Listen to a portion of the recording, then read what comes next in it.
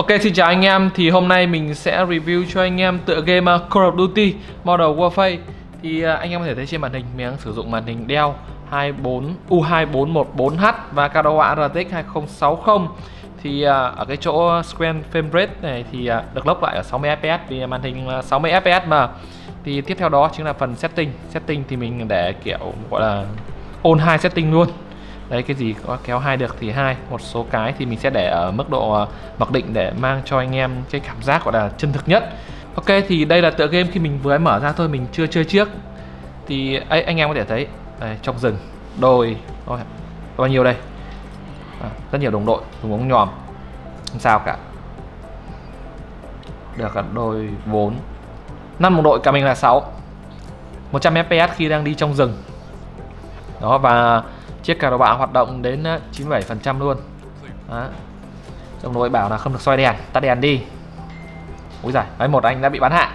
Mà pha soi đèn tương đối hấp dẫn đến từ vị trí của mình.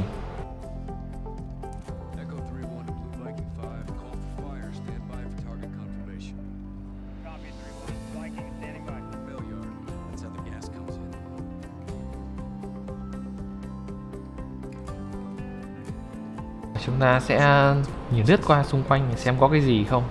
Thì đây, gọi à, gọi gì nhỉ? Gọi là gọi à, gọi pháo hoa đến. Ừ. Gọi pháo hoa đến. Và khi mình à, nhìn ở những cảnh vật mà nó ít như kiểu cây cỏ xung quanh này thì FPS vẫn lên được đến 130 còn bình thường mình thấy vẫn ổn. Rồi sấm xét à? À không, đây là pháo hoa. Mặc dù chưa phải 30 Tết, nhưng trong Call of Duty đã có bắn pháo hoa rồi. Rất nhiều ứng xảy ra. Mình thấy game này có vẻ tối ưu tương đối tốt đấy nhiều hiệu ứng như này mà FPS nó vẫn không thay đổi quá nhiều. Và đã quá tuyệt vời rồi. Chúng ta sẽ tiếp tục di chuyển theo uh, hai anh chàng đồng đội.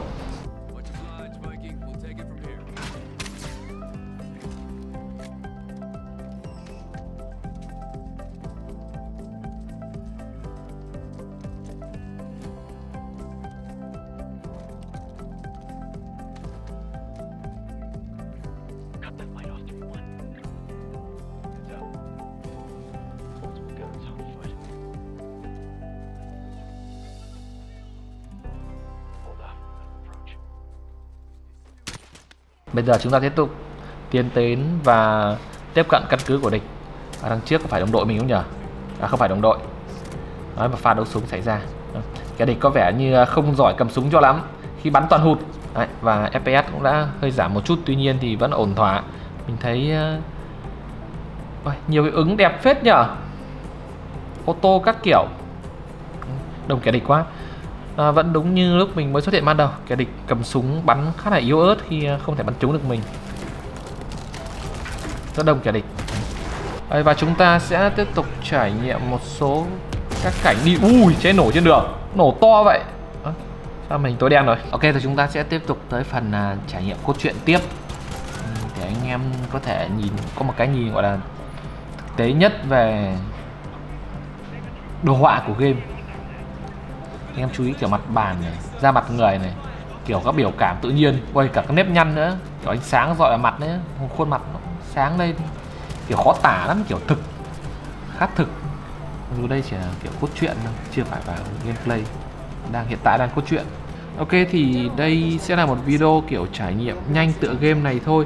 Thì có thời gian thì mình sẽ chơi toàn bộ các tựa game này và có một video chi tiết hơn dành cho anh em thì ok xin chào anh em và hẹn gặp lại anh em ở các video uh, review game uh, một cách thực tế hơn. Trải nghiệm hết sạch tựa game và gửi đến cho anh em một video khác nhé.